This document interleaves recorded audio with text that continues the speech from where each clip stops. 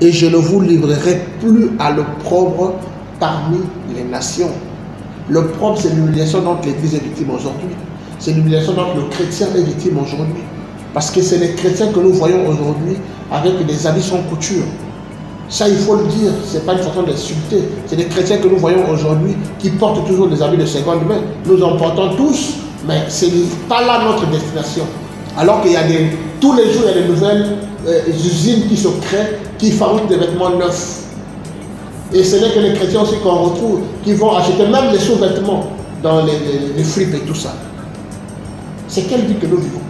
Est-ce que nous sommes appelés à être de, la seconde classe alors que Dieu Tout-Puissant qui fait de nous la tête et non la queue?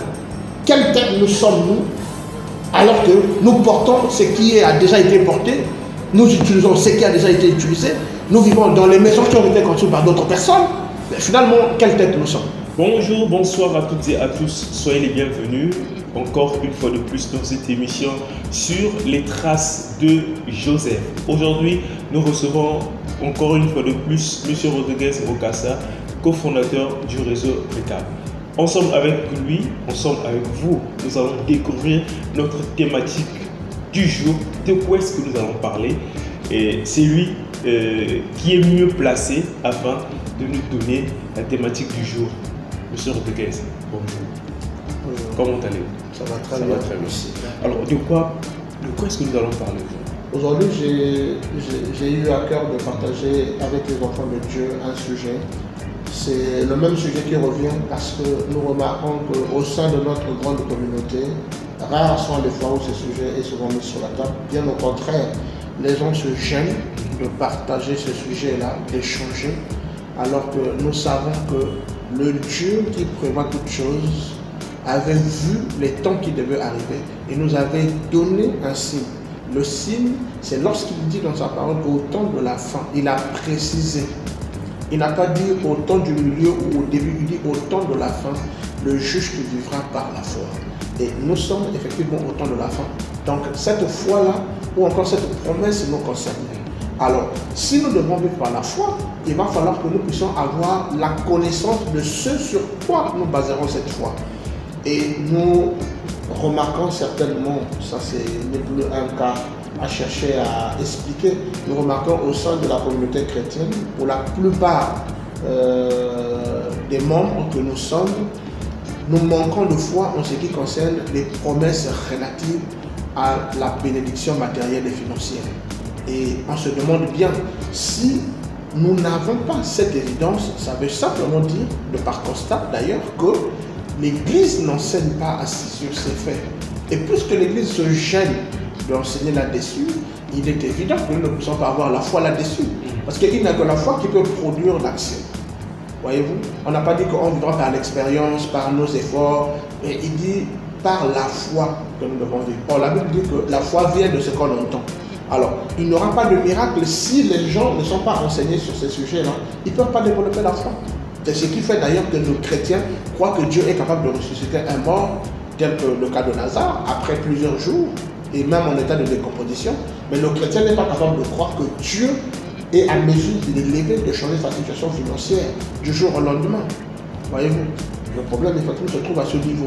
Et très souvent, je, réponds donc euh, à votre question, c'était juste une façon de, planter le décor. Euh, très souvent, nous parlons de la pauvreté au sein de l'Église, moi, j'en parle personnellement plusieurs fois. Mais le problème, c'est que lorsqu'on parle de la pauvreté, cette pauvreté regorge plusieurs aspects. Et ces aspects-là, on peut les appeler par. C'est comme ça que je préfère les appeler. Et donc, euh, c'est ce qui fait d'ailleurs que nous puissions avoir notre thème du jour. Et c'est aujourd'hui, nous allons débattre, ou plutôt échanger sur les sept différents types de pauvreté que l'on peut trouver chez l'homme en général et particulièrement chez le chrétien parce que c'est devenu un caractère ou un identifiant Donc il y a sept différents types de pauvreté au sein de la pauvreté. Donc lorsqu'on dit cette personne est pauvre, euh, ceux qui n'ont pas compris pourquoi la chose a été dite peuvent parfois même aller euh, se jeter dans une bagarre et quand tu demandes pourquoi, voilà, il m'a insulté le pauvre. être, quand on dit à une personne que la personne est pauvre, ce n'est pas une insulte pour commencer. Mais c'est une qualification qui correspond avec sa conception et avec sa situation au temps présent. Vous voyez? Donc ça, ça marque toute la différence. Lorsque quelqu'un te qualifie de pauvre et que tu crois que c'est une insulte, ça veut dire que tu es très loin de la pauvreté même. C'est-à-dire que tu as même un niveau avec un bénéfice dessus sur la pauvreté. Donc si je comprends bien, euh, la pauvreté c'est quelqu'un qui manque de quelque chose en fait. Pas de quelque chose, de plusieurs choses. De plusieurs choses. Quelqu'un qui manque de plusieurs choses. Mais si dans un contexte spécifique, euh, on peut parler quelqu'un qui, euh, qui, qui manque de l'amour, on peut parler qu'il est pauvre en amour. D'une manière euh, précise. Effectivement, là dans le cadre spécifique, mhm. lorsque quelqu'un manque d'une chose qui lui est essentielle, qu'il est censé avoir, cette personne est pauvre. Mhm. Cette personne est pauvre. Ce sujet est simple de mettre une lumière, de dépeindre plus ou moins la fatalité que les gens ont lorsque l'on parle de la pauvreté. Les gens ne veulent pas admettre à cet moment qu'ils sont pauvres. Parce que la reconnaissance ou encore la prise de conscience L'esprit d'admettre, de reconnaître et d'acceptation, c'est le début du processus de changement. Et lorsque les gens ne peuvent pas à la base admettre qu'ils sont pauvres à un certain niveau, là il y a un problème. Vous voyez? Ce n'est que lorsque vous reconnaissez que vous êtes malade que vous prendrez les mains et les pieds pour vous rendre à l'hôpital. Et si vous ne reconnaissez pas que vous êtes malade, malgré les symptômes, malgré les fortes fièvres que vous faites chaque nuit, malgré les douleurs que vous ressentez, les courbatures générales et autres, vous pensez que vous êtes en forme, ben, c'est ce que la Bible appelle par être un insensé. Et aujourd'hui, nous avons plein des insensés qui reconnaissent en eux des défaillances, mais qui refusent de les admettre. Et au cours de ce partage, je pense que nous allons euh, effleurer plus ou moins ce que nous sommes en train de dire.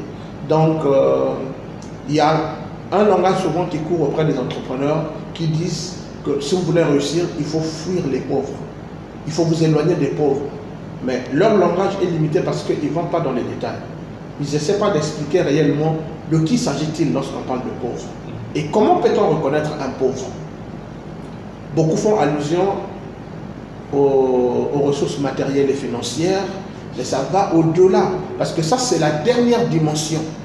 Vous voyez, il y a des dimensions bien nos devant ou bien au-dessus, ou si vous voulez, euh, qui précèdent cette dernière dimension.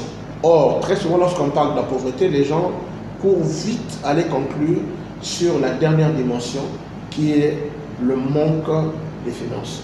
Alors qu'avant, il y a bien des choses qui causent ce manque de finances. Et effectivement, quand vous avez par exemple un manque d'information, vous êtes pauvre. Vous êtes pauvre. C'est la pauvreté. Vous avez la connaissance, mais vous n'avez pas la bonne information. Vous êtes pauvre. Donc aujourd'hui, on essaie de disséquer un peu la chose pour faire un tour au sujet de, de la problématique de la pauvreté ou sinon du mythe qu'il y a autour de la pauvreté. Donc la première pauvreté qu'il y a chez les gens, c'est être pauvre en esprit. Jésus, lorsqu'il arrive, il dit qu'il est venu pour libérer les pauvres en esprit. Alors nous comprenons de par ces langages ou encore de par ses propos que si la pauvreté en esprit était une bonne chose, notre Seigneur ne pouvait pas faire le déplacement pour venir libérer les pauvres en esprit. Vous comprenez? C'est pour dire simplement que être pauvre en esprit est tout aussi fatal que être pauvre sur le plan financier. Il n'avait peut-être pas le temps de tout étaler, mais à la lumière des recherches, nous comprenons qu'il y a sept différents types de pauvreté. C'est ce que j'ai épinglé. Mais après, je pense qu'on peut ajouter autant d'effets, ce qui fera que la pauvreté soit une vaste mer au-dedans de laquelle l'on trouve plusieurs, ou sinon différents types que l'on peut ajouter au sept que j'ai épinglé. Je vous arrête pas, euh, Monsieur Rodriguez. Alors, ce qu'il y a à faire déjà maintenant, là, pour ceux qui sont en train de nous suivre, n'oubliez pas de regarder est-ce que tu es déjà abonné sur, euh, sur notre chaîne ou sur notre page Facebook et de le faire maintenant déjà avant de poursuivre cette vidéo. Je te demande de, mettre, de mettre, d'appuyer sur pause et de, cliquer sur abonner et activer ta cloche de notification afin de ne plus et afin de ne jamais rater des contenus euh, comme euh, ce que nous allons parler aujourd'hui avec donc M. Rodriguez sur les sept types de pauvreté. Alors, si c'est déjà fait ou si c'est fait maintenant, on peut continuer. Alors, M. Rodriguez, vous avez parlé des, des, des, pauvres en esprit, mais si on revient dans la Bible, Jésus-Christ dit que je suis venu pour apporter la bonne nouvelle aux pauvres. Mais effectivement, c'est que le pauvre n'est pas dans une bonne situation. Et vous verrez que toute la vie de Jésus, il était l'ami des pauvres. Mais pourquoi l'ami des pauvres? C'est parce qu'il savait que c'était un mauvais état être pauvre. Voilà pourquoi il devait être avec eux pour les assister, pour les enseigner dans le but de leur sortir de cette pauvreté. On ne retrouvera pas seulement les pauvres financièrement. Il y, a, il, y a, il, y a, donc, il y a eu aussi des pauvres qui avaient, financièrement, ils étaient, ils étaient au top, mais il manquait euh, autre chose, l'information. Bien sûr. Je, Par exemple, je, je peux anticiper. Je prends le cas de Corneille, vous citez Corneille. Moi, je peux vous citer le jeune homme riche. Le, le jeune homme riche, oui. Financièrement, il était OK, uh -huh. mais en esprit, il était pauvre. Donc le fait que Christ soit venu, lui, il faisait partie de ceux qui ont fait descendre notre Dieu, le tout-puissant créateur sur la terre. Vous voyez? Et ça, c'est un exemple palpable qui montre que la pauvreté est multidimensionnelle. Comprenez? Aujourd'hui, tu as fait grâce que nous puissions aborder finalement la chose dans sa profondeur. J'espère seulement que nous soutiendra pour que nous allons jusqu'au bout. Donc, comme je le disais, la première pauvreté, c'est la pauvreté en esprit. Et les pauvres en esprit, ce sont des personnes qui abandonnent, qui au départ sont motivées de vouloir faire quelque chose de leur vie, qui pensent qu'ils sont sur la terre pour accomplir quelque chose, qui pensent qu'ils sont importants dans la société et qu'ils ne peuvent pas quitter la société sans apporter leur contribution. Comme disait Horace Mann, j'ai jamais oublié euh, cette déclaration de ce dernier qui dit quitter la terre sans en apporter une valeur est un péché. C'est pas biblique, mais c'est un auteur qui l'a écrit. Et moi, je pense qu'il a raison. Parce que chaque personne vient sur terre pour jouer une partition. Nous sommes sur terre avec nos capacités uniques que l'on ne retrouvera sur aucune personne qui a existé avant nous, sur aucune personne qui existe de notre temps, ni sur aucune personne qui viendra après que nous soyons, partis de ce bas monde. Donc ça montre que les facultés, les propriétés, les caractéristiques que Dieu a mis dans chacun de nous sont fondamentales pour la nature.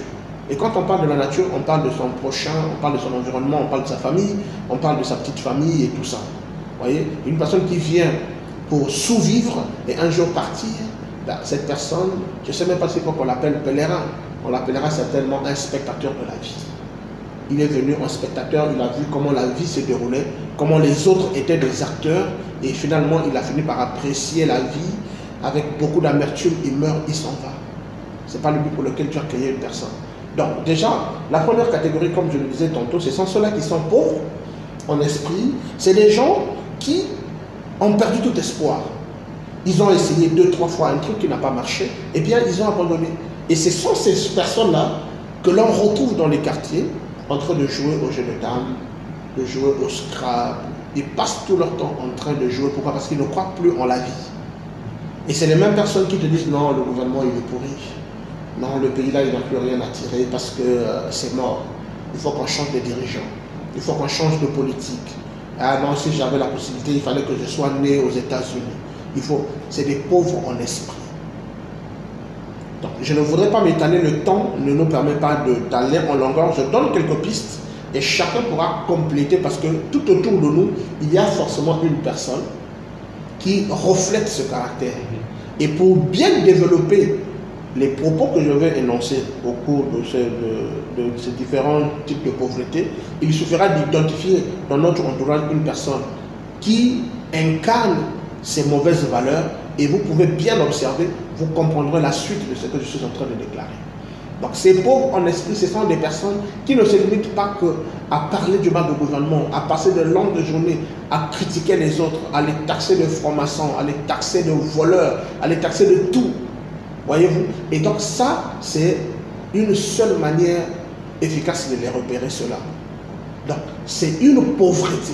Parce que tant que tu es dans cette condition-là, tu n'as pas le temps de penser à toi. Tu n'as pas le temps de penser à ton devenir, de penser à ta progéniture. Qu'est-ce que tu pourras leur léguer? Qu'est-ce que tu peux faire pour ta communauté? Dès lors que tu maudis toutes les autorités. Alors que la Bible dit que toute autorité vient de Dieu. Et lorsque tu les maudis, et le soir en tant que chrétien, tu vas t'agenouiller pour prier Dieu, que Dieu exauce ta prière parce que tu veux changer une situation, parce que tu veux avoir une situation meilleure que celle que tu as. Mais tu es la première personne à insulter les gens qui ont une position que toi tu aimerais atteindre.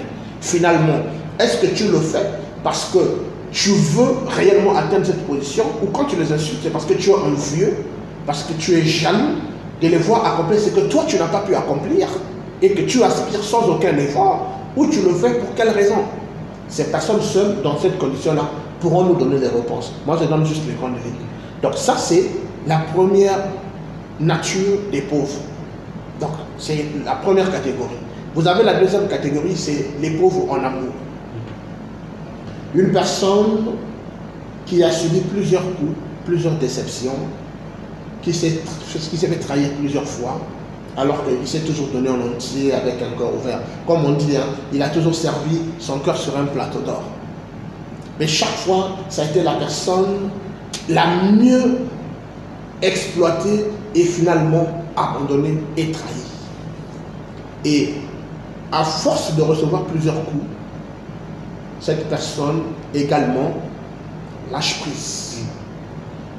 Les déceptions finissent par prendre le dessus sur cette personne et cette personne décide finalement, je pense que vous avez déjà écouté ce, genre de propos, quelqu'un te dit, moi je ne pourrais plus jamais aimer le toute Vous comprenez? Une personne qui prend une telle résolution. Le fait au lieu de vivre ça avec une ou deux personnes, il se dit que ben, c'est tout le monde. Exactement. Euh, le fait de vivre, avec, de vivre ça avec un Camerounais ou avec un Sénégalais, il pense que c'est tous les Sénégalais, il généralise tout le monde. Il dit plus jamais de ma vie je pourrais aimer un homme. Et vice versa, l'homme qui dit je pourrais plus aimer une femme. Et d'autres te diront, ceux qui sont un peu modérés, te disent Ah, moi, les Congolais, plus jamais. Moi, je préfère que ce soit un Libanais. Je préfère même que ce soit un, un Ouest africain et tout ça là. Vous voyez, cette personne s'est auto-condamnée à une pauvreté certaine en ce qui concerne l'amour. Regardez, je vous explique. Et également pour que nos, téléspectateurs puissent comprendre, on ne donne que ce que l'on a. Si tu te décides de ne plus jamais aimer, ça veut dire que tu as supprimé l'amour qui coule en toi. Tu es allé déraciner la source. Alors que l'amour ne sert pas seulement à aimer les autres, mais l'amour qui est en toi te permet d'auto-aimer, de t'auto-aimer toi-même. Et lorsque tu décides de déraciner cette source qui est l'amour en toi, ça veut dire qu'il ne te reste même plus de quoi t'aimer toi-même. Parce que tu ne peux pas faire ce tamis, tu ne peux pas faire euh, cette repartition pour dire j'enlève le surplus, je garde le peu pour moi-même. Ce n'est pas possible. C'est comme de l'eau qui se renverse. Lorsque vous voulez la récupérer, c'est une bonne partie de terre que vous allez devoir prendre avec. Soit vous la versez, soit vous la gardez dans un pot. Et c'est clair. Vous voyez, vous ne pouvez pas dissocier par exemple l'eau d'une bouteille. Vous avez soif lorsque vous allez chez le boutiquier acheter une eau minérale, vous n'achetez pas de l'eau en vrac comme ça. Vous êtes obligé d'acheter la bouteille également. Et pour que vous consommiez cette eau, vous avez également besoin de la bouteille. Donc du coup, c'est comme si vous décidez aujourd'hui de vous garder en tant que bouteille et vous versez de l'eau. Mais lorsque vous avez soif pour vous-même, qu'est-ce que vous faites? Vous n'allez pas avaler la bouteille puisqu'on ne la boit pas. C'est comme ces pauvres en amour qui décident pour dire plus jamais parce que j'ai subi des déceptions et donc moi j'en ai fini avec l'amour. Si je veux trouver une fille, c'est m'embrouiller, je passe mon temps et puis voilà. Et les hommes pareil. Vous voyez? Mais cette personne condamne sa propre vie à cette pauvreté que lui seul en est responsable. Les personnes qui t'ont trahi, qui t'ont dessus, sont partis. Ils, sont, ils, ils ont même oublié ton existence. Ces personnes-là sont passées à autre chose. Ils ont bâti des foyers merveilleux et ainsi de suite. Lorsque tu parles de la déception, il faudrait d'abord se remettre en question. Est-ce que c'est toi qui étais le problème qui a donné naissance à cette déception? Ou non Parce que parfois ceux qui agissent comme ça, ce sont des gens qui ne savent pas comment entretenir une relation. Et une personne pragmatique qui se rend compte que cette relation est infectieuse, la personne se retire et s'en va. Et généralement, ils sont les premiers à accuser pour dire à un tel, moi je l'ai aimé, voilà ce qu'il a fait. non, voilà, là, ah non, ça fait trois fois, ça fait quatre fois, plus jamais.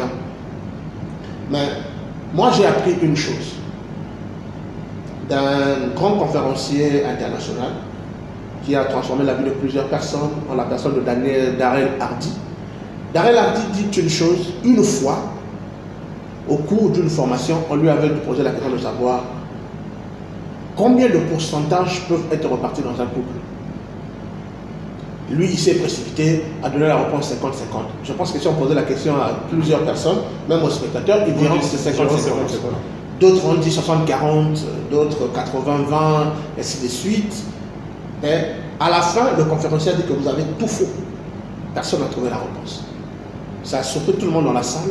Et le conférencier explique pour dire que dans une relation de couple, le pourcentage c'est 100% contre zéro. C'est étonnant. Ça veut dire que vous, vous devez assumer le couple à 100%. Vous n'allez pas dire, moi j'ai fait ma part, elle doit faire. Non. Est-ce que la personne qui décide de ne plus jamais aimer dans les relations antérieures de sa vie, est-ce qu'il s'était donné à 100% Est-ce qu'il s'est endossé cette responsabilité de couple ou de relation sentimentale à 100% C'est souvent quand on attend quelque chose de son partenaire que l'on est déçu. Lorsque vous n'attendez rien et que vous donnez ce qu'il y a à donner, moi je pense qu'il y a de fortes chances que vous connaissez, vous puissiez connaître le succès. Voyez? Donc ça c'est juste une parenthèse pour montrer que ces personnes-là, ils s'auto-condamnent. C'est-à-dire que c'est une personne qui est restée du jour au lendemain, euh, il décide de, se créer une prison, il rentre, il ferme, il prend la clé, il la balance à l'extérieur, sachant qu'il n'y a personne pour venir l'ouvrir. Voilà ce que ça veut dire. Donc vous avez cette deuxième catégorie ou sinon le deuxième type de pauvreté. Et une personne qui n'a pas d'amour, cette personne ne peut non seulement aimer les couples, il sera contre tous les couples qu'il verra parce que lui n'a pas réussi cet examen. Cette personne aurait condamné sa progéniture. Voyez-vous, il finira certainement célibataire, il finira malheureux dans sa vie. C'est juste une question d'amour. J'ai dit, bon, le côté amour, si je le supprime, je peux gérer le reste. Mais supprimer l'amour, c'est supprimer toute ta vie. Parce que toutes les personnes qui vivent avec toi, qui sont autour de toi, attendent de toi un retour euh, euh, euh, sentimental, un retour d'amour. ça va de soi. C'est la loi du donner et du recevoir. Les gens ne peuvent pas t'aimer alors qu'au contraire, au retour, toi, tu ne les aimes pas. C'est pas possible. le monde ne marche pas comme ça. Il faudrait qu'il y ait cette réciprocité pour que les gens fassent attention à toi quand les gens t'appellent. Toi, par amour, tu peux composer le numéro et appeler la personne. Par amour, tu peux visiter celui qui te visite. Imagine que quelqu'un te visite mille fois, toi tu n'es jamais venu une fois. La personne va se lasser. Et puisque tu n'as plus d'amour pour que tu le fasses un jour, ça veut dire que cette relation, elle est morte. Donc ce serait pas seulement te condamner sur le plan sentimental avec les filles, les filles qui tombent dessus, mais c'est avec toute la famille et tout ton entourage. Et demain matin, même si tu es chef d'entreprise, tu n'as pas d'amour dans le cœur. Ça va dans tous les sens. Même tes employés, tu ne pourras pas les aimer. Tu vois, à la fin, ça va repercuter même dans ce que tu fais. Tu ne pourras pas aimer ton travail. Donc, il y a des pauvres en amour. Ils ont tout ce qu'ils peuvent avoir, mais sur le plan sentimental, ils ont un souci. Alors qu'ils ignorent que c'est la grande raison qui a fait descendre Dieu sur la terre. Et tous les commandements, Jésus dit, la Bible dit que sont fondus dans un seul, l'amour. Et l'apôtre Paul dit que quand bien même tu parleras de langage des anges, peu importe ce que tu feras, ressusciter les, morts si tu veux, marcher sur les eaux, tout ce que tu pourras faire, si tu n'as pas d'amour, l'apôtre Paul tu es comme un sabbat qui retentit. Tu es vide de sens. Mais quelqu'un décide de se jeter dans une telle prison. Voilà encore là un pauvre. Donc ça vous fait deux catégories de pauvres. Et donc, euh, il y a une troisième catégorie les pauvres, c'est les pauvres en sagesse. Il y a des gens, vous le remarquez, il est grand en âge, mais il n'est pas sage du tout. Quand il parle, tu as l'impression d'être en face d'un enfant de 8 ans, de 10 ans. Mais c'est une personne qui a des cheveux blancs sur la tête. Une personne qui peut atteindre 40, 50 ans. On se demande qu'est-ce qui se passe? Les gens ne comprennent pas. Mais en réalité, cette personne est pauvre en sagesse. Simplement parce que cette personne qui est pauvre en sagesse, on peut la catégoriser en fait en trois, euh, en trois sections, si je me permets le terme. Alors, la première section, si vous voulez le mot, c'est que il y a des gens qui sont stupides. Et être stupide, c'est être dépourvu de sagesse. Tu es stupide, chaque fois tu es victime de même chose, tu t'es jamais arrêté pour prendre conscience pour dire pourquoi je vis toujours ces choses-là. Pourquoi je fais ça, pourtant je fais bien, mais je me rends compte que les mêmes choses reviennent. Et toi, tu ne fais que répéter la même méthodologie, répéter les mêmes erreurs. C'est ce qu'on appelle être stupide, c'est-à-dire que tu es dépourvu de sagesse. Il y a d'un côté cela, vous avez de l'autre côté ceux qui sont stupides, mais qui se croient être intelligents. Alors qu'ils ne l'est pas. Vous voyez, ce sont ceux qui sont dans le paraître. Ils veulent quand il vient, qu'il arrive quelque part, que les gens sentent qu'il est là. Il a toujours quelque chose à dire. C'est lui qui a toujours une opinion, c'est lui qui a toujours des propos, c'est lui qui contredit tout le monde, c'est lui qui prend toujours la parole à toute occasion. Vous pouvez être quelque part en train d'échanger en groupe. Chaque fois, c'est lui. Pendant que les autres sont sur une intervention, lui, il en est déjà 14, il en est déjà 15 interventions. Mais lorsque vous regardez bien, ce qu'il dit est dépourvu de sens une fois de plus. Et la Bible dit que la bouche qui parle beaucoup, c'est celle qui pêche. Une personne sage écoute plus et parle moins. Ce n'est pas pour rien que Dieu a donné à une personne deux oreilles et une seule bouche. C'est pour dire qu'avec tes deux oreilles, écoute plus et parle moins. Et la Bible dit encore que même un insensé, lorsqu'il se tait, il se passe pour un sage. Et ça veut dire que les personnes qui parlent beaucoup, si vous regardez bien, c'est des gens qui ne sont pas sages. Simplement parce qu'il est stupide, mais il veut vous faire croire qu'il ne l'est pas. Il veut vous prouver le contraire. Ça, c'est une autre catégorie. La troisième catégorie, vous avez des gens qui sont intelligents, mais qui se font passer pour des stupides. C'est-à-dire, il est intelligent pour le vrai. Mais puisque c'est une personne qui, malgré son intelligence, peut être victime d'une pauvreté en esprit, il peut être victime d'une pauvreté en amour, il a une intelligence, mais il s'est dit, pourquoi est-ce que je me suis obligé de leur dire ce que je sais? Ils n'ont qu'à se débrouiller. Tu vois, il décide de se passer pour un stupide. Quelqu'un qui ne comprend pas ce qui se dit, ce qui se fait et tout ça là. Ce n'est pas se taire, ce n'est pas de l'humilité. Mais il le fait pour des mauvaises raisons. Soit il est dépourvu, comme je le disais tantôt, il est, il est victime de la pauvreté, j'allais dire, en esprit, soit il est victime de la pauvreté en amour, soit les différents types de pauvreté que nous verrons, mais il décide de se passer pour un insensé. Parfois, il le fait de façon involontaire. Parce qu'on lui fait savoir que ici, tu ne parles pas. Quand on arrive là-bas, il faut, tu, laisses les grands parler. Et il est intelligent, il se fait passer pour stupide. Et plusieurs fois, s'il répète ce chemin, il finira par le devenir parce que une cause produit toujours un effet. Vous voyez? Et donc, c'est quelqu'un d'intelligent qui se passe pour stupide. Simplement parce que son environnement l'a conditionné.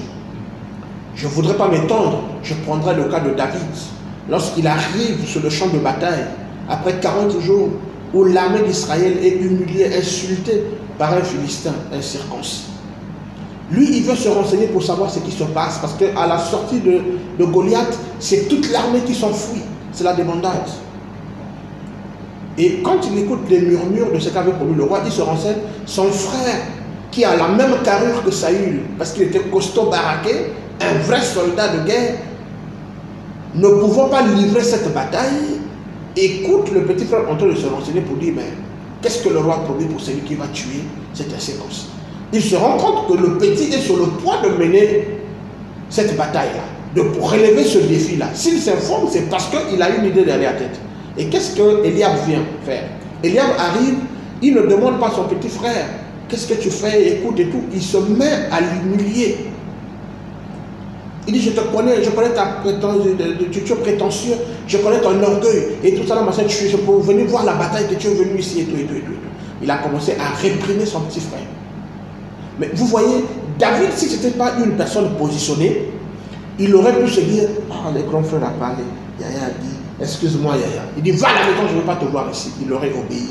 Mais David connaissait ce qu'il valait. Lorsque le grand frère a commencé à l'humilier, il s'est retourné, il a regardé, il a dit, qu'est-ce que je fais de mauvais? Ne dois-je pas parler ainsi? C'est-à-dire que je n'ai pas le droit de me renseigner. La Bible dit qu'il se détourna de lui et il parta questionner d'autres soldats. Parce qu'il connaissait sa position. Et plus il posait la question, plus la rumeur commençait à circuler. Mais il y a un jeune homme qui ne fait que demander ce que le roi peut donner à celui qui peut vaincre Goliath et tout ça. Et le roi le fut chercher. Tu vois, c'était l'opportunité de sa vie de montrer ce, ce à quoi il était capable.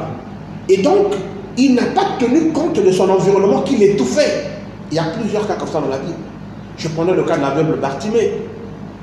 Pendant qu'il était en train de crier, les gens disaient ah, toi laisse tomber. Les gens qui ont les yeux qui marchent, on n'a pas eu de solution. Et toi qui ne peux pas voir et tout, tu laisses le bruit. La Bible dit qu'il cria encore plus fort. Parce qu'il connaissait que si je rate cette opportunité, ben, c'en est fini pour moi. Là, c'est la solution ambulante qui passe. Ce n'est plus le piscine, la piscine de Bethesda où quelqu'un devait aller te jeter et tout. Mais là, c'est une piscine ambulante. C'est-à-dire un distributeur de solutions. Parce qu'il va crier plus fort. Et dans sa révélation, pendant que les gens criaient Jésus, Jésus, Jésus, lui, il appelait fils de David. Il n'a pas dit écoutez de moi Jésus. La révélation l'a emmené à l'appeler par fils de David. Mais il n'avait pas appelé fils de David avec une voix, c'est une voix de foi qui avait appelé Jésus. Jésus s'est arrêté. C'est comme la femme à la perte de sang. Il y a tellement d'exemples qui peuvent stipuler en fait cette troisième, cette troisième catégorie.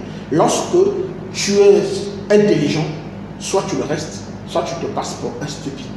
Parce que le conditionnement autour de toi te rendra stupide alors que tu ne l'es pas. Et beaucoup de gens sont dans cette situation-là. Là encore, vous trouvez quoi? Un pauvre. Donc là, c'est la troisième catégorie. Donc les pauvres en, en on en a cité. Nous avons le quatrième type de pauvreté, c'est des pauvres en caractère. C'est des gens qui sont dépourvus d'un bon caractère. Alors que la Bible dit que Jésus envoie les épreuves dans la vie des chrétiens pour leur tailler un caractère. Ça veut dire que le caractère, c'est un critère très important pour notre Dieu. Et nous avons malheureusement plein de chrétiens qui n'ont pas de caractère. Mais pourtant, ils vont à l'église, pourtant, ils vont prier, ils jeûnent, ils payent les dîmes, ils payent les offrandes mais n'empêche qu'il reste pauvre. Parce que le caractère n'est pas celui-là. Il y a des sœurs qui ne se marient pas à l'église. Elle est belle, elle peut être polie, elle est courtois, mais elle n'a pas de caractère. Logiquement, le, le caractère, là, c'est quoi? Effectivement, vous pouvez. Le caractère, c'est l'ensemble des bonnes habitudes. Le fait que vous soyez poli ne fait pas de vous une personne de caractère. Le fait que vous soyez gentil ne fait pas de vous une personne de caractère. Ça ne fait qu'un seul trait de caractère. Mais le caractère, c'est l'ensemble de toutes les bonnes actions, de toutes les, bonnes habitudes, comme nous sommes en train de décortiquer aujourd'hui la pauvreté. Et un jour, s'il plaît au Seigneur, on pourra parler du caractère et décortiquer également ce que c'est réellement le caractère. Et pendant l'explication, vous comprendrez plus ou moins pourquoi est-ce que j'essaie un peu de marteler sur le caractère pour dire que avoir un seul trait de caractère ne fait pas de vous une personne de caractère. Vous voyez, il y a une personne qui est pragmatique, qui est logique, qui est méticuleux dans ce qu'il fait. On dit non, cette personne-là a un trait de caractère. On parle d'un trait. Tu vois, on ne dit pas c'est une personne de caractère, non. On parle de trait de caractère. Et donc, les personnes dépourvues de caractère, qui sont pauvres de caractère, c'est les gens qui volent, qui trichent, des gens qui mentent, qui n'ont pas une parole d'honneur. Il te dit autre chose, il fait autre chose. Il t'assure qu'il fera autre chose pour toi, mais il fait le contraire. C'est des gens sur lesquels il ne faudrait pas s'appuyer. C'est des gens qui vous garantissent qu'ils seront toujours là pour vous. Mais lorsque vous avez le plus besoin d'eux, c'est les seules personnes qui sont indisponibles. comme par hasard, vous pouvez être là. Mais dès que vous avez un problème et que vous dites que j'ai quelqu'un sur qui compter, c'est à l'instant même que cette personne-là se volatilise. Se volatiliser, c'est même mieux parce que tu, le vois s'envoler, mais il disparaît. Il te laisse que de la poussière. C'est des personnes, c'est des pauvres en caractère. Vous êtes en affaire avec lui, il te dit non, voilà, on va faire ça, ça, ça, ça, ça. Demain matin, tu dis bon, ok, pour un premier temps, on fait un sacrifice. On ne va pas se payer pendant deux mois, juste le transport, on pourra quand même se partager et tout ça. Bon, toi, tu gères, moi, je gère telle chose. Lui, tu lui confies les finances, croyons qu'il a la même vision que toi de par ses propos, parce qu'il t'a rassuré que son rêve, c'est celui que vous partagez. Celui d'aller plus loin ensemble, comme entre guillemets le dit la politique de notre pays. Mais, regardez-le en action. Chaque fois quand tu voudras faire le point avec lui, vous verrez que la caisse est presque séchée, mais les livres de compte sont remplis des écritures pour justifier les dépenses injustifiées. Ce sont des personnes pauvres au caractère. Et en affaires, collaborer avec des genres de personnes, c'est se condamner déjà à un échec. Donc vous comprenez que si vous voulez aider un pauvre, il faut savoir de quelle pauvreté souffre-t-il. Parce que la pauvreté, c'est un mot qui englobe tout. Mais vous voulez aider un pauvre qui est pauvre de caractère, vous le confiez parce que c'est un expert comptable, c'est quelqu'un qui a travaillé dans de bonnes sociétés, vous le mettez dans votre entreprise, bah, il vous finance. Vous comprenez que il faudrait bien que les peuples de Dieu comprennent ces choses pour qu'ils sachent. Et on voit souvent, non, tel frère m'a déçu, je l'ai confié la gestion de telle chose. Et pourtant, nous sommes tous dans, dans, dans, la même église, nous croyons, ça fait 15 ans que je connais le frère prie. Mais est-ce que tu t'es assuré que le frère n'est pas pauvre? Le frère peut avoir l'expérience, mais il est pauvre de caractère. C'est quelqu'un qui a une parole douteuse. C'est quelqu'un qui a une intégrité à peine minimale, sinon inexistante. Mais comment peux-tu faire confiance à une telle personne? Je ne voudrais pas citer mon cas. J'ai été victime moi-même récemment d'avoir collaboré avec un pauvre caractère qui a dilapidé toutes les ressources d'une petite entreprise que nous avons montée. Sans remords, sans scrupules. Il vient chez toi avec une panoplie de raisons. La suite, Dieu merci, c'est que le pire n'est pas arrivé, mais bon, finalement, ça a été pour moi une leçon de vie. Vous comprenez? Mais si je suis tombé sur une personne, j'ai pris le soin, là encore, c'est parce que j'étais têtu, parce que le Seigneur me l'a revenu.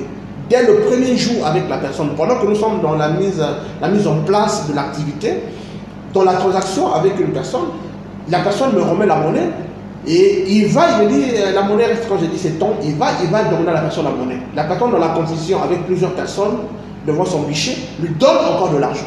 Et quand il revient vers moi, je le, je remarque avec l'argent entre les mains. J'ai dit, mais l'argent, il dit non, il m'a remis la monnaie et tout ça, de l'argent que tu l'as payé. J'ai dit, mais non, il m'a déjà remis la monnaie.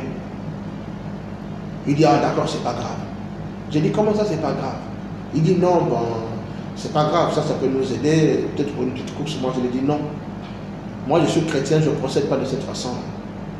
Va remettre son argent. Il dit, oh, on va seulement, il ne faut pas gérer ça prochainement et tout ça. Il dit, tu penses qu'il va faire une erreur deux fois? Ou tu attends que ton péché soit confirmé deux fois. Je participe à ça, va remettre cet argent. Si tu ne le fais pas, moi, je le fais. Le gars, il a voulu donner les raisons. Et quand le monsieur venait vers moi, j'ai dit, écoutez, télé, euh, vous nous avez donné la monnaie deux fois. Vous venez de nous donner la monnaie, moi, vous m'avez donné un premier, prenez. Ah oui, tu as vu, moi, je savais que j'avais donné la monnaie, j'étais juste confus et tout ça. C'était ainsi. Dieu me montrait que c'est un pauvre en caractère. Mais je me suis dit, je me suis engagé avec lui, je lui donne une chance. J'arrive au moment de faire la mise au point, un client arrive le jour même où nous lançons l'activité, le client arrive et tout, le client se renseigne et tout ça, il va voir le prix et tout, comme ça se passe. La maman est hésitante et tout. La maman finalement décide de passer parce que j'ai senti que l'accueil n'était pas au rendez-vous. Et donc, quand la maman tourne le dos, elle dit, hum, une sorcière comme ça. Moi, ça m'a choqué. Je me suis dit, ben, donc, ça, il y a un, ça ne va pas. J'ai dit, ok, d'accord, je vais observer. Il se peut peut-être que ça soit le fait qu'il soit surchauffé et tout ça. Mais Dieu m'avait montré dessus. Pour montrer que c'était un pauvre en esprit, ce n'était pas quelqu'un avec qui s'associer dans le business. Mais ça n'a pas mis longtemps. Dieu m'a mis devant un fait. Parce qu'il a fini par dilapider toutes les ressources de l'activité. Donc, vous comprenez que c'est un pauvre, quelqu'un que vous ne pouvez pas aider en temps normal. La seule personne qui peut l'aider, c'est lui-même. Il faudrait qu'il soit conscient de sa pauvreté et qu'il travaille pour s'en débarrasser. Ce n'est qu'à ce moment-là qu'il peut effectivement devenir une personne que l'on peut faire confiance. Mais pourtant, c'est un chrétien. Tout le temps, il a le mot, il a le mot de Jésus dans sa bouche. Pendant qu'il travaille, il est en train de chanter des louanges, des cantiques et tout ça. C'est des gens qui sont couverts par la couverture de la religion. Parce que la religion, par définition, c'est une couverture.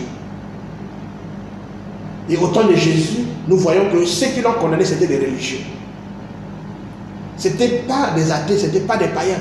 C'est des religieux, des gens qui connaissent la Bible, qui lisent la Bible, qui fréquentaient les synagogues, qui enseignaient même les Écritures. Vous voyez? Mais, dans l'accomplissement de leurs actes, on a compris que c'était des pauvres en caractère. Donc voilà un peu plus ou moins des pauvres en caractère. C'est des gens qui n'ont pas d'intégrité, qui n'ont pas d'utilité.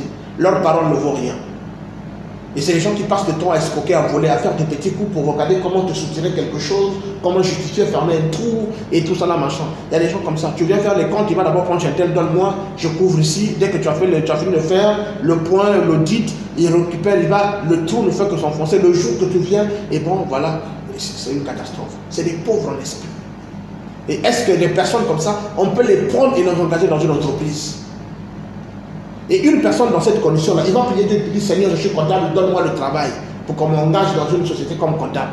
Et c'est la société d'un enfant de Dieu. Est-ce que Dieu peut exaucer la prière d'un tel chrétien? Alors que le Seigneur te connaît. C'est pas possible. Donc avant parfois d'accuser Dieu pour dire le Seigneur ne fait pas quelque chose, moi depuis que j'ai fini le boulot, depuis que j'ai fini mes études, depuis que j'ai fini les, stages, depuis que j'ai été euh, licencié de cette entreprise, je n'ai plus jamais eu de travail alors que je jeûne, je prie, je suis fidèle à l'église, je balaye l'église, j'arrange les bons. Là n'est pas le problème. Il faut comprendre que tu as un problème à régler, c'est ta pauvreté d'abord.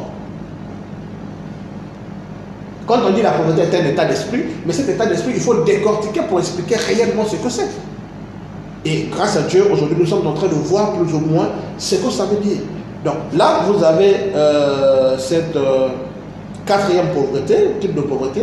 Vous avez le cinquième type de pauvreté, c'est les pauvres en habitude.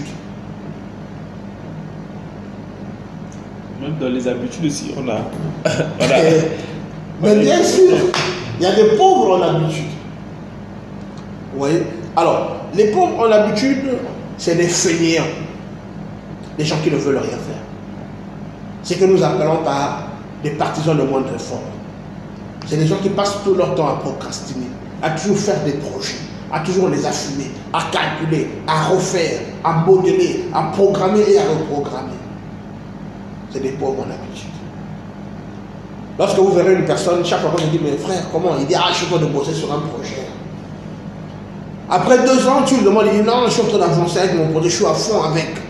C'est un pauvre en habitude. Je pense qu'après ce petit enseignement, les gens pourront identifier leurs véritables problèmes. Et ils pourront comprendre les personnes qu'ils environnent, qui les entourent, ceux qui partagent en fait leur quotidien. Et ils sauront s'il faudrait continuer à faire chemin avec ces personnes ou non. Parce que lorsqu'on est, on fréquente les gens, lorsqu'on fréquente euh, un environnement, c'est pour que cet environnement t'influence, c'est pour que cet environnement-là te propulse vers l'avant, que cet environnement t'apporte ce que tu n'as pas. Alors, lorsqu'on aurait compris tout ça, on aurait fait le tour de tout ça, je pense que chacun pourrait s'asseoir et faire l'évaluation de toutes les personnes qui l'environnent. Et détecter à chacun.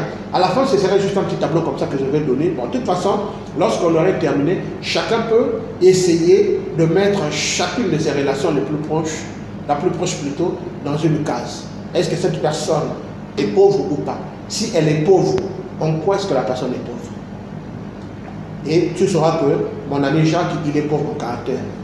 Mon ami Jean, il est pauvre en habitude. Mon ami ceci, il est ceci. Et tu sauras avec qui tu vis. Et quand tu es avec lui, tu éviteras qu'il te communique en fait cette pauvreté. Parce que tu es déjà en avance de sa situation. Et avec un peu de chance, un peu d'amour, si tu n'es pas pauvre en amour, bien sûr, tu peux commencer à l'exhorter en fonction de son problème. Pour l'aider. Parce que c'est à ça que servent les fréquentations. C'est à ça que sert l'entourage. C'est se soutenir, c'est s'entraider. Et tu ne peux pas aider une personne si toi tu es ignorant de quoi souffre la personne. Vous voyez? Donc c'est là vous avez un petit aperçu, le temps s'en va, je vais essayer un peu d'accélérer. Donc une personne qui est toujours en train de faire des plans, il est toujours en train d'ajuster, de, c'est des maniaques en fait. Je pense que c'est le mot qu'il faut. Il veut toujours que les choses soient parfaitement faites, sans erreur et tout. Je dis, ah non, comme je ne suis pas prêt, je préfère attendre d'abord. Et, attendre, ça le prend six mois, ça le prend une année. Et plus tard, c'est quelqu'un qui a lancé son projet et qui commence à réussir, qui a lancé au bas niveau et qui commence à prendre de l'air. Il va se dire, ah voilà, des gens comme ça, il a volé mon projet. Il n'a pas volé ton projet. Tu es pauvre en habitude. Lui, il est habile, il est courageux. Il est entreprenant. Il est réaliste, il est smart.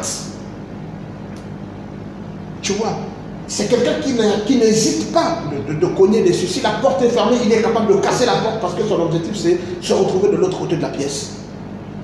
Et le contraire de ça, pour une personne pauvre en esprit et, en habitude. On a vu des gens comme ça à l'école primaire, lorsque nous étions à l'école, euh, avec des amis, ils disent ça c'est ma femme. Il indexe la fille parce qu'il éprouve des sentiments d'enfance et tout ça pour la fille, mais il n'est jamais allé dire à la fille que voilà, moi, ceci et cela. Et nous avions des amis qui étaient un peu plus avancés, euh, en habitude, hein, je peux dire ça comme ça, et ils passaient droit. Et tu voyais maintenant pendant les, récréations et tout ça, les deux sont ensemble en train de se partager un bout de pain et tout. Et vers midi, parfois vous entendez une bagarre éclater. Quand vous venez, les gens, se, deux, deux amis se battent. Qu'est-ce qu'il est parti Oh non, il est allé draguer ma copine et tout ça.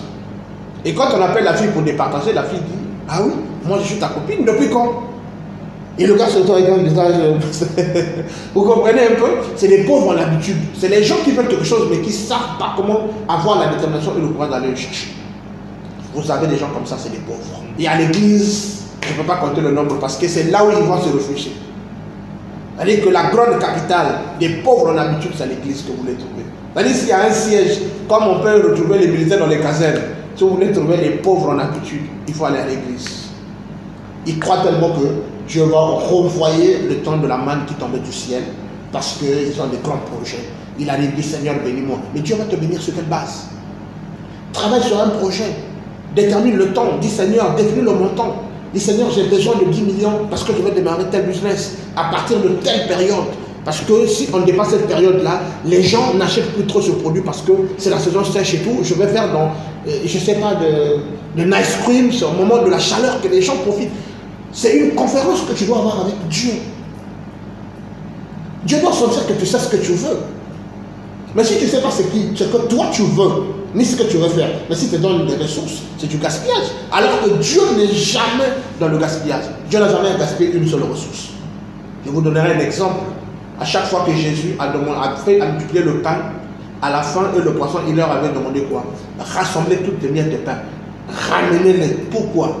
Il pouvait dire, j'ai ça parce que quand on aurait besoin, et tout ce que j'aurais à faire, c'est de multiplier. C'est pour montrer simplement que Dieu a une discipline de la gestion des ressources. Voilà pourquoi aujourd'hui, nous, dans ROCAP, nous suivons des enseignements à propos de cette discipline, de la bonne gestion des ressources que Dieu nous donne, qu'elles soient matérielles ou financières. C'est ça, effectivement, l'objectif. Parce que Jésus, s'il était le maître de tout, veillait à la moindre ressource. Même à un bout de pain, il avait un, un œil là-dessus. Pour la gestion de ses finances, il était obligé d'embaucher un comptable alors qu'il avait des poches. Il pouvait avoir un sac. Mais c'est pour que les choses soient faites selon les règles de l'art. Vous voyez comment le Seigneur était discipliné. Mais comment nous voulons, dans le désordre, être collaborateurs du Seigneur? Il y a un problème.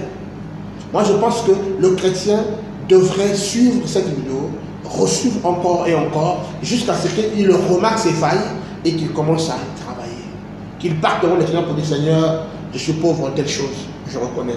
Mais je sais que tu es venu pour les pauvres, d'aide me restaurer. Dès lors que j'ai pris conscience, aide-moi maintenant à travailler pour être productif et être contre-productif face à des vieilles habitudes qui m'ont maintenu longtemps captif. Vous voyez? Donc là, vous avez la cinquième euh, pauvreté, vous avez les pauvres en attitude. Ça, c'est euh, euh, le sixième type de pauvreté. Donc après les pauvres en habitude, vous avez les pauvres en attitude. C'est quand même chaud, hein? Donc, on va aller un peu. Vous avez les pauvres en attitude. Et leur attitude est surtout contagieuse.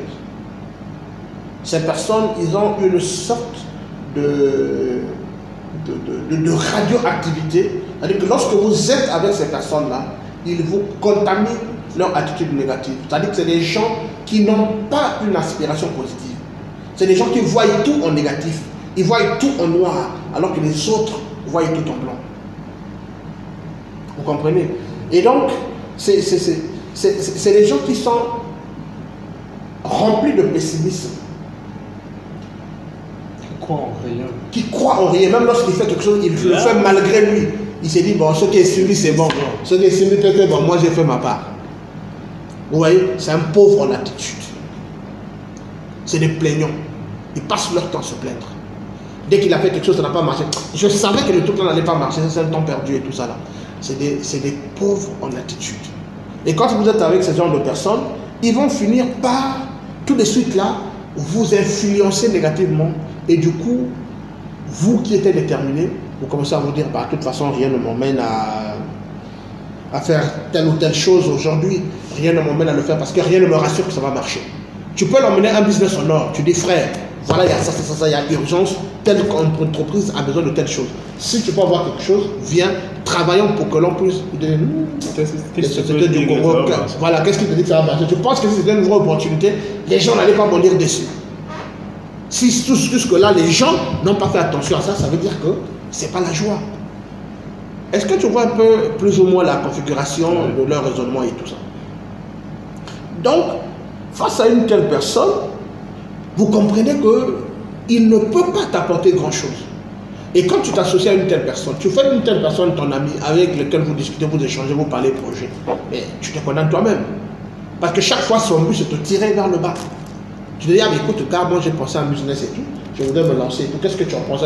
Dans quoi? Oh, laisse tomber. Il y a mon cousin qui a déjà fait ça, il a échoué. Tu connais le vieux interne, non? Tu vois, lui, il faisait dans ça. Aujourd'hui, il est tombé là. Tu vois, le vieux, il est en difficulté. C'est ça, en fait, des personnes pauvres en attitude. Et c'est, en résumé, c'est des lâches, si je peux me permettre le terme. C'est des gens qui raisonnent devant les opportunités, alors que les opportunités en raisonnent pas déçus. Quand ça se présente à toi, ça veut dire que c'est à toi. Ne sois pas opportuniste, mais ne rejette pas les opportunités non plus. Être opportuniste t'emmènera à faire des compromis, ça t'emmènera à faire des, des, des, parjures, ça t'emmènera à faire plusieurs choses qui vont compromettre ta foi. Mais lorsque une opportunité fait le déplacement et vient jusqu'à toi, tu ne la laisses pas passer. Imaginons si David avait laissé passer cette opportunité de sa vie ce jour-là.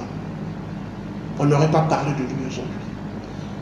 Si la veuve de Sarepta s'était dit, ben, moi c'est tout ce qui me reste, si je donne au prophète, ça va anticiper le processus de ma mort avec mon fils si jamais il ne fait pas quelque chose. C'était une opportunité. Elle a réfléchi, elle s'est dit, ça, moi je suis un chrétien, je mets Dieu à défi. Parce que je sais que Dieu est le pourvoyeur de toutes choses. C'est lui le Jéhovah juré. Je donne, ça c'est un homme, mais je m'attends à Dieu. Et ça saisi l'opportunité. Et ça fait que de toutes les maisons qui étaient en, cette contrée à l'époque, c'est la maison qui était la plus riche. Et elle est devenue businessman du coup, parce qu'elle a commencé à vendre à ceux qui n'en avaient pas. Non seulement que l'on a eu en abondance, mais elle a commencé à vendre auprès des personnes qui était en manque. Mais tu vois que Dieu n'a pas seulement béni la maison, mais Dieu a béni en plus sa maison. Voilà pourquoi je dis toujours que la bénédiction de Dieu vient euh, en, deux séquences. Et cette personne-là, parce qu'en vendant de l'huile et de la farine, on imagine à cette période-là, il y avait plus, c'est comme l'histoire de l'Ukraine aujourd'hui. La farine de blé, c'est un problème. On comprend que l'huile, c'est un souci. Vous voyez, donc, essayons un peu de se représenter, la situation s'empirer. Maintenant, toi, tu as la solution de l'huile. Tu deviens un industriel qui fabrique de l'huile devant chez toi, depuis ta maison, sans machine. Dieu est merveilleux. Dieu a fait de cette femme-là une industrielle fabriquant de l'huile sans aucune machine.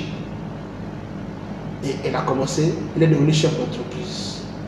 De la pauvreté qu'il a guetté, qui était prête à prononcer la mort pour elle, Dieu a restauré sa situation et a fait d'elle une grande businessman de l'époque, durant toutes les années où il manquait le pain, il manquait l'huile, il manquait tout. Dieu est capable. Mais il faudrait que tu aies une attitude à recevoir les promesses de Dieu. Lorsque l'homme de Dieu est venu se présenter, il n'a pas dit non, voilà, moi je veux faire ceci pour toi, après tu auras ceci. Il a dit, fais-moi d'abord. Point barre. Mais si elle avait cette attitude, cette pauvreté en attitude, elle avait dit, hum, toi tu sors, je ne sais pas d'où je n'ai jamais vu. Toi tu viens, tu me dis, tu as vu ce qui me reste, regarde. Et si je te donne, on va manger quoi Non, en tout cas, je suis désolé, va faire païen. Elle aurait pu dire ça. Donc, il y a aussi des opportunités de notre vie que nous perdons simplement parce que nous sommes dépourvus et pauvres d'attitude. Vous voyez un peu? C'est une pauvreté. Et ça, si elle avait résisté cette opportunité, Dieu ne serait pour rien. Donc les attitudes précèdent en fait ou activent le processus du succès dans la vie du chrétien. Et ce qui est triste, c'est que le chrétien ne le comprend pas. Le chrétien survole la Bible, le chrétien ne s'arrête pas pour faire certaines analyses de la Bible, pour percevoir le message qu'il y a au fond d'une action. Plusieurs chrétiens, j'imagine, ont lu l'histoire de la Bible de Sarita. Mais combien ont pu comprendre que c'est la bonne attitude de cette femme qui a fait que la faveur de Dieu entre dans sa maison Combien ont compris la grandeur de l'esprit dont elle a dû faire montre? La grandeur de son sacrifice? Pour recevoir en contrepartie au-delà de ce qu'elle avait donné. Lorsqu'on veut entrer dans la bénédiction de Dieu, qu'est-ce que nous avons fait de grand? Quel est le sacrifice que nous avons réalisé pour exiger de Dieu une grande bénédiction Les pauvres en attitude. C'est le sixième type de la pauvreté. Alors nous avons le septième type, enfin, et le dernier, de la liste que j'ai pensé partager avec les enfants de Dieu aujourd'hui, c'est les pauvres en finance. Ah, je pense que c'est ce que tout le monde voulait, voulait peut-être écouter. parce qu'on ne pouvait pas euh, citer tout sauf ça. Ben ouais, moi je sais que d'autres se disaient, mais ça vient à quel moment, ça vient à quel moment et tout ça là, parce qu'ils attendaient qu'on touche le point. D'accord. Ben, c'est une euh, sorte de, de chronogramme qui conduit en fait, parce que la septième pauvreté, c'est la conséquence des six précédentes, précédentes pauvretés. Lorsque tu as une, deux, trois, quatre ou cinq euh, euh, euh, qualités, ou encore cinq, tu as cinq types de pauvreté, deux types de pauvreté, trois types de pauvreté que nous avons cités, il y a de fortes chances que ça impacte sur la septième pauvreté qui est la pauvreté des finances. C'est comme je l'ai dit tantôt avec la veuve de Sarepta, c'est comme je l'ai dit avec le roi David, c'est comme je l'ai dit avec euh, la femme à la perte de sang. Vous voyez par exemple le cas de Corneille. Corneille savait qu'il lui manquait quelque chose. Il était pauvre en esprit. Donc malgré qu'il avait de l'argent, c'est comme le jeune homme riche. L'argent, c'est pas tout dans la vie. L'argent chez nous, dans le réseau RECAP, nous prenons l'argent simplement pour un instrument qui nous permet d'accomplir les plans ou les desseins de Dieu dans la vie. Et en tant qu'ouvrier, nous gagnons notre salaire au travers du travail que nous faisons avec les ressources que Dieu met entre nos mains pour pouvoir utiliser. Mais nous ne cherchons pas l'argent à tout prix parce que nous voulons en avoir, nous voulons renflouer les comptes et tout. Si je peux vouloir 1 milliard, 10, 20, 50, 100, 10 000, 100 000 milliards, c'est pas parce que je voudrais être l'homme le plus riche, mais parce que je voudrais avoir à faire beaucoup pour la gloire du Seigneur. C'est tout à fait différent. Vous comprenez? Et donc ça, ça fait que cette perspective nous emmène à être à l'aise quand on est fauché ou pas. Parce que tu sais que si Dieu me donne, c'est une responsabilité. Parce que recevoir de Dieu les finances, a une charge à un prix. Dieu, quand il te les confie, c'est pas pour que tu t'en appropries, parce que dans Amos 2.8, il s'approprie l'argent, il dit, ça m'appartient. Dieu n'a jamais donné le droit légal de l'argent à qui que ce soit. Ça l'appartient. Donc nous ne sommes que les gestionnaires. Nous le voyons dans Matthieu 25, nous le lisons, je crois, à partir du verset 14 jusqu'au verset 23 ou 29, quelque chose comme ça, avec la parabole des talons. Dieu illustre en fait comment il traite avec euh, l'individu en ce qui concerne les finances.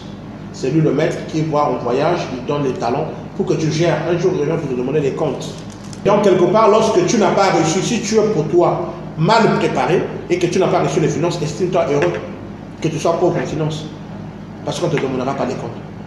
Quand tu veux chercher à avoir de l'argent, il faudrait être sûr de répondre devant le Seigneur ce jour-là pour de l'argent qui a été mis entre tes mains. Et ça, c'est quelque chose que les gens ne comprennent pas. De la même manière qu'il est difficile d'être pauvre, il est aussi difficile d'être riche. Parce que la richesse comporte les conséquences. Tant dans ce monde, tout comme dans le monde à venir.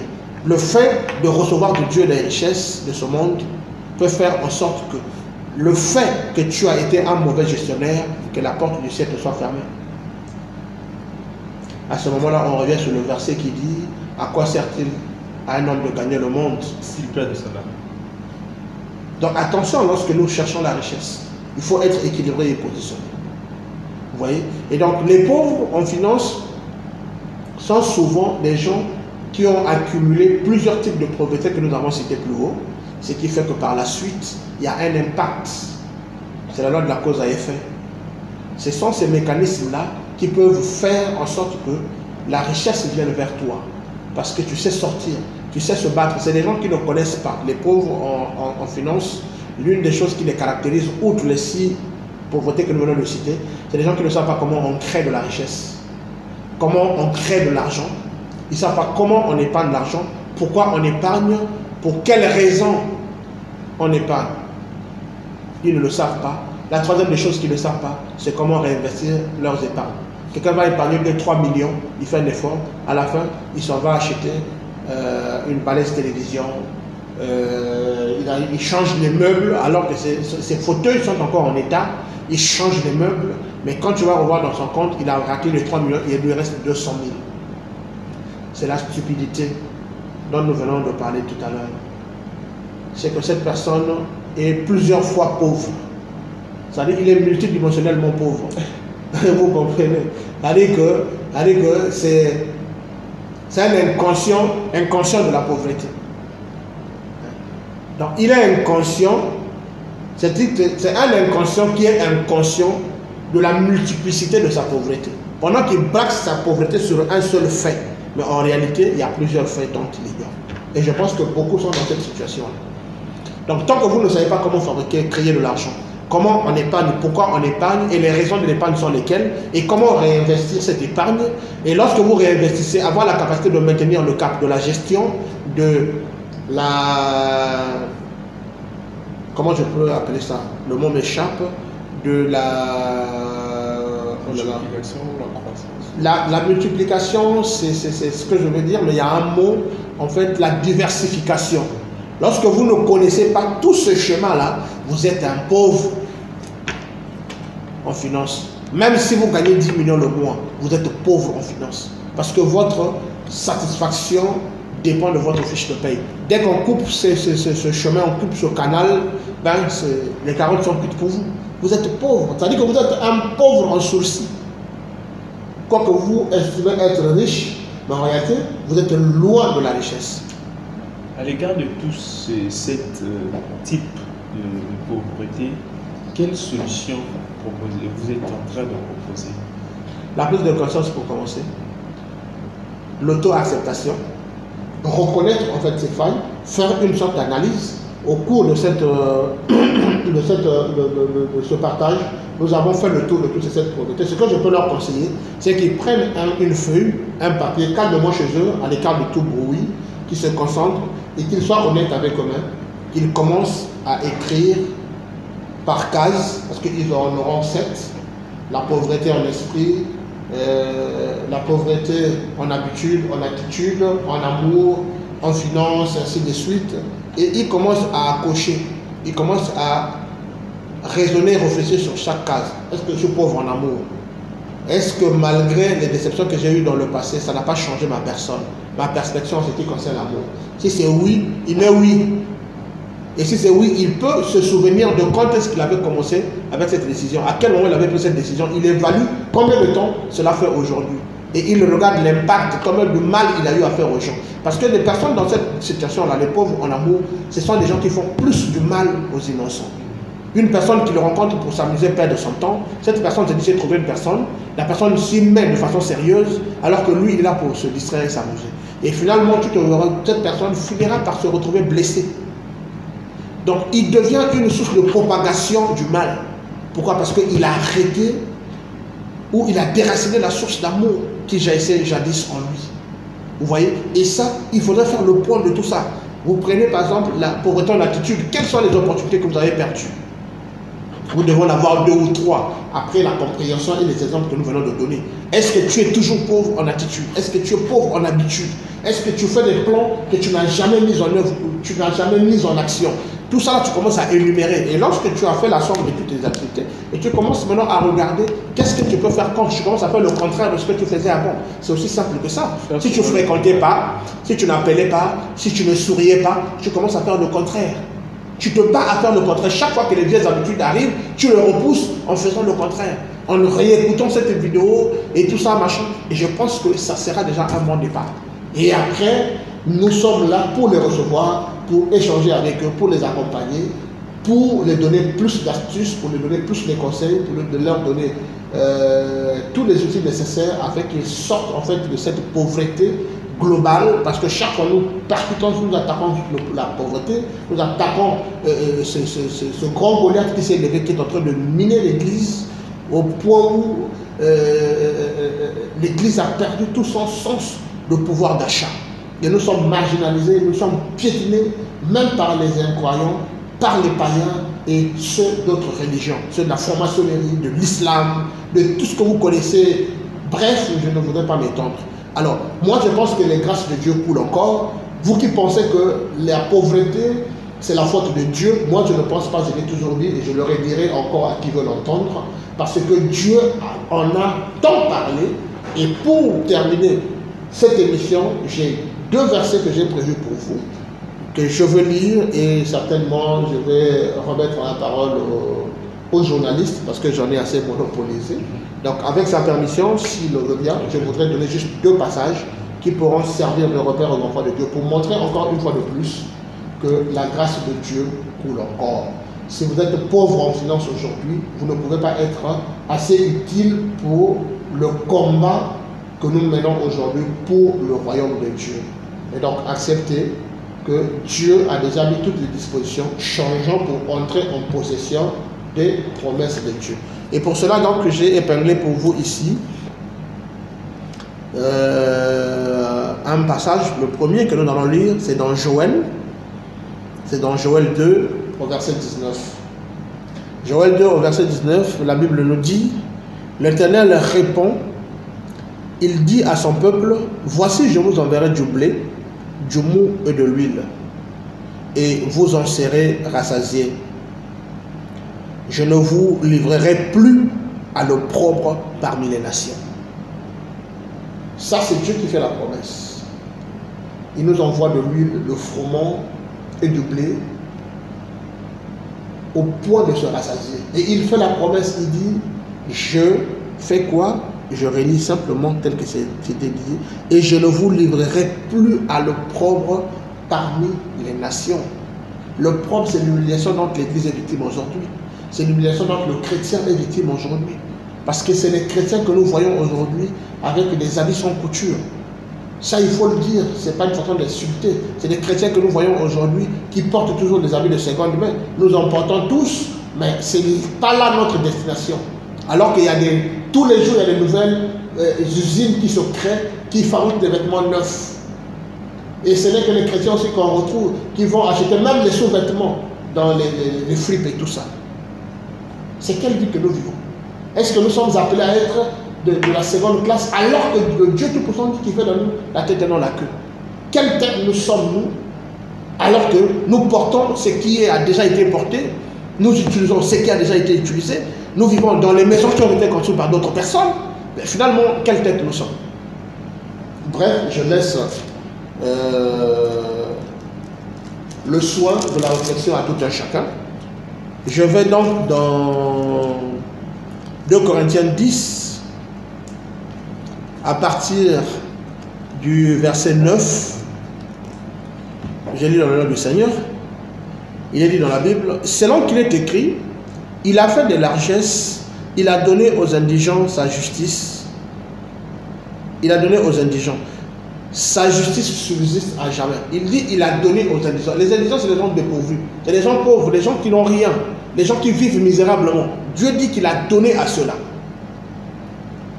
Il ajoute, il dit, sa justice subsiste à jamais. Ça veut dire que c'est un Dieu qui n'a pas de haine pour dire il a donné à X, il n'a pas donné à Y et tout ça là. Il donne à tout le monde qui est prêt à recevoir et qui est préparé de le recevoir. Un peu plus devant, il dit, au verset 10, c'est lui, donc Dieu, euh, non, c'est lui qui fournit plutôt de la semence au semeur. N'est-ce pas? Toi, tu as un projet, mais c'est lui qui te fournit les matériaux pour réaliser le projet. C'est lui qui te fournit les aptitudes, c'est lui qui te fournit les opportunités, c'est lui qui te fournit l'expertise, c'est lui qui te fournit une meilleure main-d'œuvre. Mais avant tout, il faut que tu aies quelque chose à présenter à Dieu. Il faut que tu sois semeur pour qu'il te fournisse la semence. Il n'a pas dit que il est à la fois le, le semeur et la semence. Il dit il fournit la semence au semeur. Donc il faudrait que tu sois semeur. Il faudrait que tu présentes à Dieu quelque chose pour qu'il t'apporte le complément. C'est ce que ça veut dire. Donc, il fournit de la semence au semeur, c'est ce qu'il dit, et du pain pour sa nourriture. Donc c'est lui qui fournit aussi le pain au semeur pour sa nourriture. Il dit, la Bible dit virgule, ça veut dire, en d'autres termes, il dit, il vous fournira, il vous fournira et vous multipliera la semence. Donc non seulement qu'il te donne la semence, mais il dit ici qu'il multipliera cette même semence. Tu vois que le travail de Dieu compte plus que tout que ce que toi tu peux faire. Toi tu fais une partie, mais la grande partie c'est Dieu qui fait. Tu, tu, tu sois seulement celui qui peut euh, Réunir les conditions. les conditions et lui fera le reste. Lui, il fait le reste. C'est ce que j'appelle souvent par euh, les mathématiques physico-spirituelles, qui vont de 90% sur 10. Et lorsqu'il te donne 90% sur 10, lui ne prend que 10%, alors que c'est lui qui fait 90% du travail pour ton succès, tandis que toi, non, il fait 99%, toi tu ne fais que 1%. C'est paradoxal, c'est une mathématique qui ne peut pas être équilibrée avec les mathématiques du monde. Ça, c'est une équation que Pythagore ne peut pas régler. Vous voyez un peu? Donc il dit, euh, il fournit de la semence au semeur et du pain pour sa nourriture, vous fournira et vous multipliera la semence et il augmentera le fruit de votre justice. Tout est clair. Est-ce que vous voulez encore qu'on explique ou qu'on réexplique? Non, mais là, on n'a plus besoin d'expliquer. on Je plus besoin la, d'expliquer. la- la parole de Dieu est claire et que chacun de nous a pris note depuis sur les sept types de pauvreté et sur les solutions. On nous a parlé de la prise de conscience, on nous a parlé de prendre un bout de papier, d'écrire les sept types de pauvreté et d'essayer de, de- répertorier, tu te retrouves à quel niveau, est-ce que tu en as déjà, tu as deux, trois, quatre types? Et d'essayer euh, de les énumérer afin de trouver, d'apporter des solutions, de les corriger. Et la- euh, ce que nous pouvons retenir tous, on nous a dit que faire le contraire de ce qu'on faisait hier. Donc dès lors qu'on a détecté que nous avons tel type de pauvreté, et faire le contraire de ce qu'on faisait en fait. C'est ça qui va nous amener à changer de, de, de cap, à changer, à changer de direction afin de résoudre ces... Et, et je voudrais ajouter quelque chose de très capital, c'est qu'une fois que vous avez fait ce travail avec vous, faites-le aussi avec votre entourage le plus proche. Sinon, euh, ils vont encore... Voilà, sinon vous allez désinstaller un virus que eux ils voudront encore réinstaller et vous serez en train d'être, euh, vous serez victime d'un cercle vicieux où vous tournez en rond, vous tournez en rond, vous allez vous dire que ça ne marche pas. Faites un travail de fond avec vous et comprenez et maîtrisez les différents types de pauvreté qui animent chacun de chacune des personnes qui vous entourent ou chacun de vos amis les plus proches et tout ça. Comme ça, au moins, à chaque fois que vous serez avec ces derniers, vous saurez les limites à ne pas franchir. Lorsqu'il commencera à étaler cette pauvreté, tu sauras comment stopper. À la rigueur, vous pourrez improviser un départ pour éviter simplement qu'il vous télécharge ce virus et tout, ou nous dire, ben, est-ce que si on parlait d'autres choses, vous pouvez introduire un autre sujet juste pour contre-attaquer en fait ce virus qu'il est sur le point de lâcher inconsciemment pour pouvoir vous empêcher d'aller de l'avant. C'est juste ce que je voulais ajouter en. Merci beaucoup. C'était donc l'émission sur les traces de Joseph présentée par votre frère Aman Longo.